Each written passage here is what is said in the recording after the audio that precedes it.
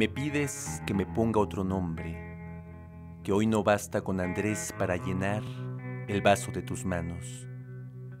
Me lo pides con tu boca cerrada, solo con tus ojos me lo pides, mirándome con un poco de ira, con la molestia de una ansia guardada entre tus labios tensos y a la vez un poco húmedos.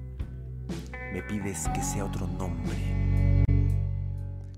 La poesía es romper la imagen que baila en el espejo.